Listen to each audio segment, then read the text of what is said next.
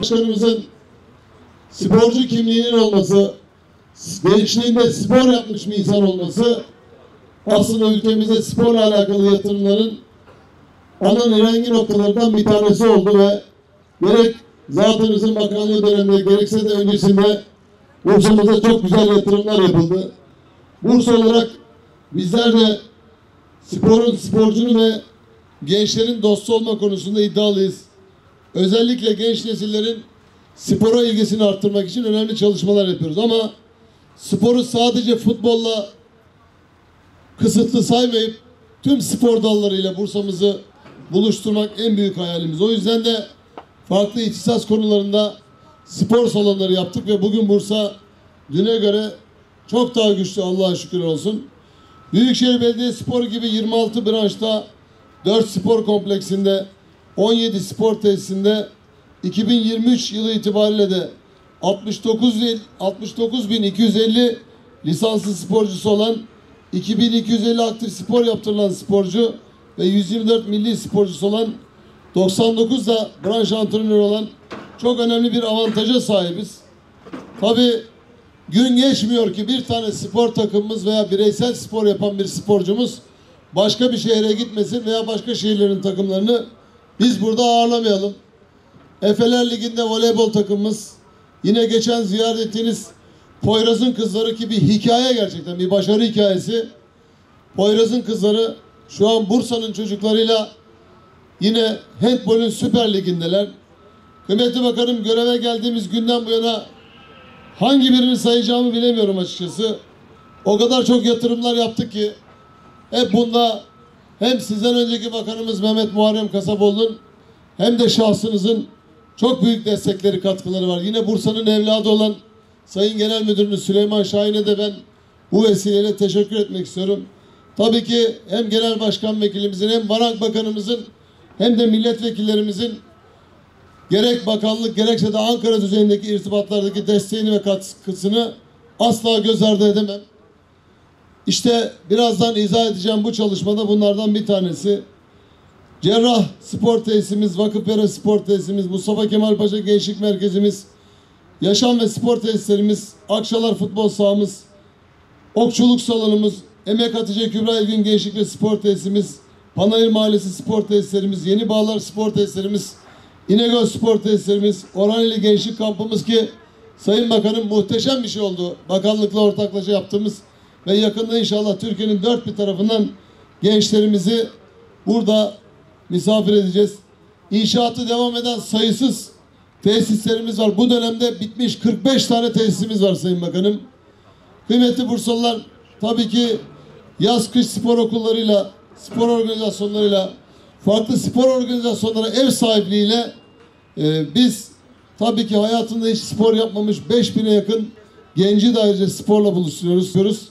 Sayın Bakanım amatör kulüplerimizi maddi olarak da destekliyoruz. Geçen yıl 520 spor kulübüne toplamda 4 milyon 500 bin TL destek verdik.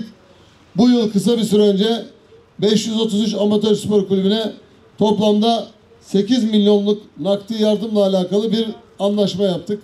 Tabi bu aktivitelerin yapılması, bu sahaların yapılması başarıları da beraberinde getiriyor ki bundan dolayı da şehir olarak tanıtımımız, şehrin aktivitesi daha fazla artıyor. Bundan dolayı da bir yerel yönetici olarak çok mutluyum. Büyük bir heyecan ve mutluluk içerisinde olduğumu belirtmek istiyorum. Ancak biliyorum ki hayatımızı sürdürdüğümüz, sosyalleştiğimiz, sokaklarını gezdiğimiz bu kadim şehrin daha modern, daha müreffeh, daha güzel olması sadece benim değil, hepimizin ortak heyecanı. Binalar kullanıldıkça eskiyor ve bir süre sonra da ekonomik ömrünü tamamlıyor. Yıllarca şehrimize hizmet eden ve herkesin Atatürk Spor Salonu diye bildiği ve muhakkak surette hatıralarının olduğu ki benim de çok hatıralarımın olduğu bu mekan ekonomik ömrünü doldurduğu için yenilemek üzere yıkımını gerçekleştirdik. Hem batıda hem de doğuda.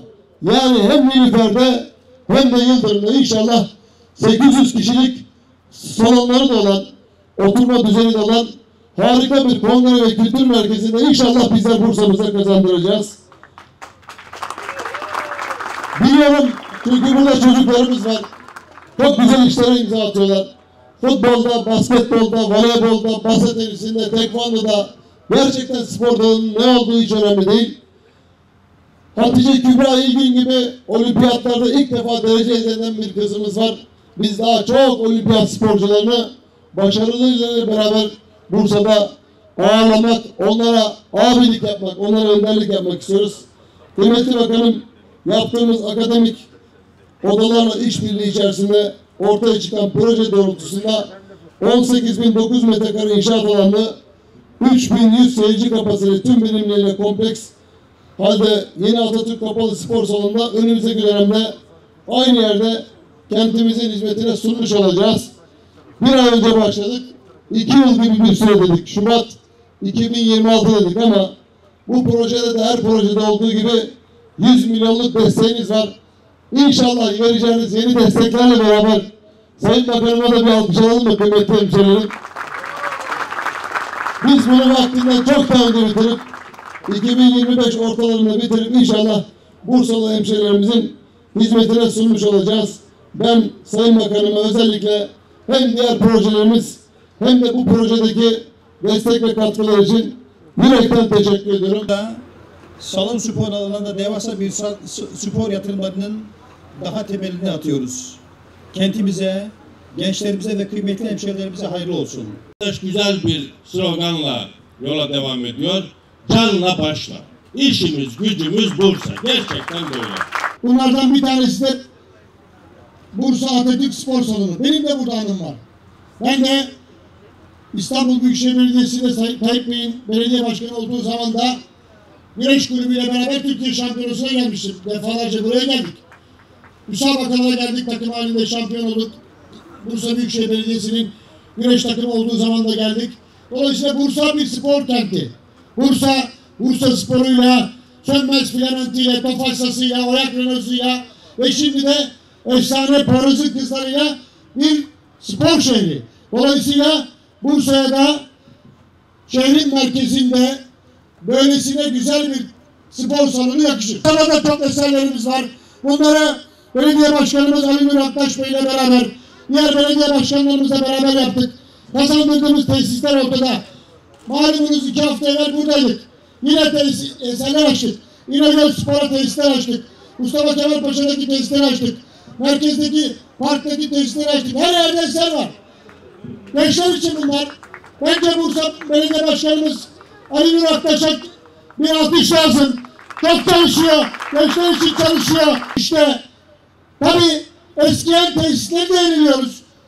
Atatürk Spor Salonu ifade ettikleri gibi 72 yılında yapılmış. Görevini yapmış. Efsane müsabakalar olmuş burada. Tofaşsas'ın müsabakalar olmuş. Oyak Renault'un olmuş. Sönmez Filament'in olmuş. Güreş milli takımının müsabakalar olmuş. Şampiyonalar olmuş. Yine görevini tamamlamış ama yeniden Bursalılara, Bursa'nın gençlerine hizmet etmek üzere Bursa Büyükşehir Belediyesi tarafından yeniden tasarlanmış, dizayn edilmiş harika bir salon, 3100 kişilik bir salon, ana salon, yanında alt salonlarıyla beraber, yanında yüzme havuzuyla beraber muhteşem bir tesis ortaya çıkıyor. Teşekkürler Valide Başkan. Teşekkür ediyoruz. Bursa adına teşekkür ediyoruz. Biz de destek oluyoruz. Yanınızdayız. Kazandırdığınız eserler ortada. Biz eser üretiriz. İşte bu. Tekrar bizlere düşen görev neyse yanınızdayız. Sen yapmaya başla başkan. Yüz değil, iki yüz değil. Ne lazımsa sana helal olsun. Bursa'ya helal olsun. Destekler size. Sen eser getir. Şimdi başkan şunu söyledi. Amatör spor kulüplerine destek olacağız dedi. Çok güzel eserler, işler yapıyor gerçekten. İşte belediyecilik bu. Bizim de yönetim olarak, Gençlik ve Spor Bakanı olarak yerel yönetimlerle çok güzel işler yapıyoruz. Bakın Türkiye çapında 22 yılda olimpik ve paralimpik, e, olimpik ve yarolimpik olmak üzere yaklaşık 700 tane yüzme havuzu yapıldı. 100 tanesi de devam ediyor. Peki ne oldu? Burada bu ülkenin çocuklarına 10 milyon çocuğuna yüzme öğretildi. Uluslararası alanda başarılı sporcular çıkmaya başladı. Çocuklarımız başta alkol, uyuşturucu olmak üzere kötü alışkanlıklardan uzak tutuldu. Şuradan ailelere tekrar sesleniyoruz. Bu tesislere, yapılan bu tesislere anneler, babalar, nineler, dedeler çocukları alıp getirin. Torunlarınızı alıp getirin. Alkolden, kötü alışkanlıklardan, kötü akımlardan uzak tutalım. Antrenörlerimizle, teknik direktörlerimizle, teknik direktörlerimizle, yöneticilerimizle çocuklarımız burada spor yapsın. Buradan başarılı sporcular çıksın. Geçmişte Tofaş'tasın güreş takımının Avrupa Kulüpler Şampiyonluğu var. Yine Bursa Büyükşehir Belediye Güreş takımının Avrupa serbest stilde Avrupa Şampiyonlar Ligi şampiyonluğu var. Şampiyonluğu var. Ben de o zaman federasyon başkanıydım. Güreş Federasyonu Başkanıyken de geldim buraya. Ve Bursa bir spor şehri her haliyle her şeyle bunu hak ediyor. İnşallah bu tesislerde yetişecek sporcular büyük işler yapacak. Yine ifade ettiği gibi Mudanya'ya da gittik. Mudanya'dan Poyraz'ın kızları güzel iş yapıyor. Mudanya'ya da orada yeni salon ver, yeni salon yapmak için, stat yapmak için söz verdik. İnşallah onları da gerçekleştireceğiz. Başkan sen çalışmaya devam et. Biz yanındayız.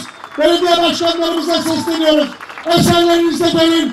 Biz sizin hizmetinizdeyiz. Desteğe devam diyoruz. Yetenek taramasıyla Türkiye çapında 3. sınıflardaki çocuklarımızdan 4 milyon çocuğumuzu taramadan geçirdik. Buradan çeşitli branşlara yönlendirdik. Basketbola, voleybola, karateye, tekvandoya başta olmak üzere masa tenisine yeteneğine göre yönlendiriliyor. Türkiye'de spor devrimi devam ediyor. Her yerde eserler var. Bu eserleri belediyelerimizle beraber yapıyoruz. Eser üretmeye devam edeceğiz. Bu ülkenin gençliği için çalışmaya devam edeceğiz. Sayın Cumhurbaşkanımızın önderliğinde bu gençlere gençlik merkezlerimizde yaklaşık 400 tane gençlik merkezimizde sanattan kültüre, tiyatroya çeşitli alanlarda hizmet etmeye devam ediyoruz. Ya Allah bismillah hayırlı olsun.